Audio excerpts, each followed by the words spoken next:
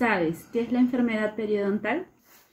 Primero, la encía rodea al diente y lo va a proteger.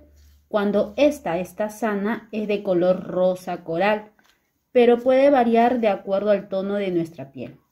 Cuando lo tocamos es firme y termina en forma de filo de cuchillo. Ahora, cuando las bacterias se acumulan alrededor del diente, pudiendo llegar al espacio entre la encía y el diente, esto ocurre tras la ingesta de cada comida. Pero con el cepillado lo podemos remover.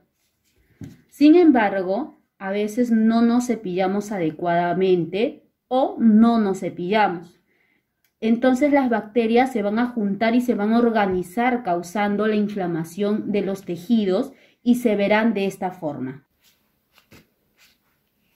Así, así, incluso así. ¿Cómo detectar si tienes una enfermedad periodontal?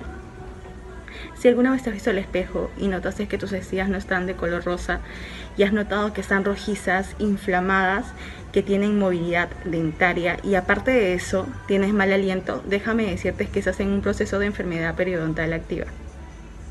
El diente se divide en dos partes principales, la corona, parte visible con la que masticamos, y la raíz, que se ancla en el hueso con lo que se denomina periodonto. La función del periodonto es unir el diente al hueso. El periodonto tiene una estructura compleja que se compone de el cemento que recubre la raíz, el ligamento cuyas fibras unen el diente al hueso y el hueso donde se aloja la raíz del diente. La encía, recubrimiento visible de color rosa.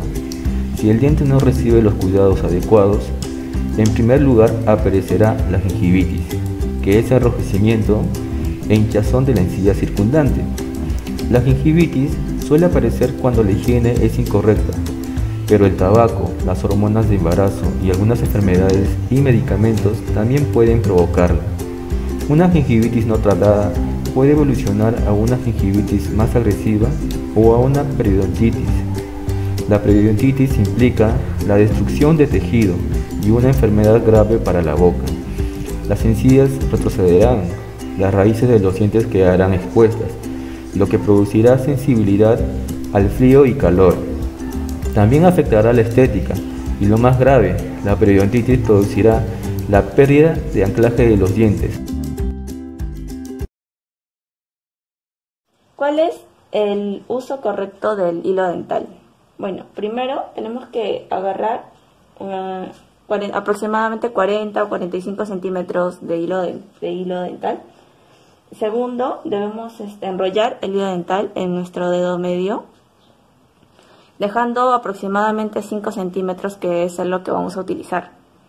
Luego debemos eh, sostener el hilo con nuestros pulgares y nuestros índices para luego deslizarlo por toda la curvatura de, los, de la parte interproximal de entre cada diente. Debemos hacerlo siguiendo cada, la curvatura y debemos también limpiar los que son la parte del, debajo de la encilla evitando hacer una, fuerza excesiva para no lesionar lo que es el tejido blando. Debemos realizar este procedimiento en, entre, en todos nuestros dientes. De hoy les tengo un mensaje de cómo poder eh, hacer un correcto cepillado dental tanto como para niños como para adultos. Eh, pero antes de eso hay que tomar en cuenta que el cepillo debe tener cerdas suaves para no dañar la encía y el mango debe ser adaptable a, la mano del operador.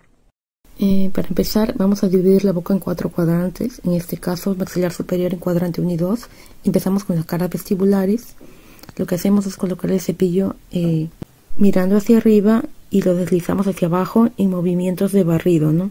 Y eso hacemos por todas las caras vestibulares dentro de todos nuestros dientes, ¿no? En este caso, en la parte superior. Ahora para lo que es la cara interna, el cepillo debe ser colocado en posición vertical y vamos a cepillar con la punta o el extremo de la cabeza del cepillo y también hacemos movimientos de barrido diente por diente. Para cepillar las caras oclusales hacemos movimientos de restregado de adelante hacia atrás y también movimientos circulares de derecha a izquierda, así en todas las superficies masticatorias. y lo mismo hacemos para la arcada inferior. Y finalizamos el cepillado con la lengua y con movimientos de atrás hacia adelante y también movimientos de barrido. De atrás hacia Si no voy al odontólogo, primero, caries dental. Segundo, enfermedad periodontal. Tercero, fracturas o grietas. Cuarto, un cáncer oral. Ahora, la receta para evitar esos problemas es la siguiente. Primero, higiene bucodental diaria completa.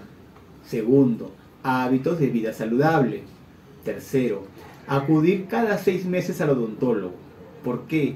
Porque el no hacerlo puede causarte problemas graves como sufrir dolor, requerir tratamientos caros y complejos. O lo peor, hacerte perder tus dientes. Ya sabes, una revisión a tiempo es la mejor manera de prevenir y cuidar tus dientes. Recordemos, para evitar la enfermedad periodontal debemos tener en cuenta los siguientes pasos.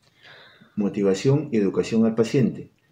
Esto quiere decir una buena técnica del cepillado, el uso correcto del hilo dental, el uso de enjuagatorios bucales,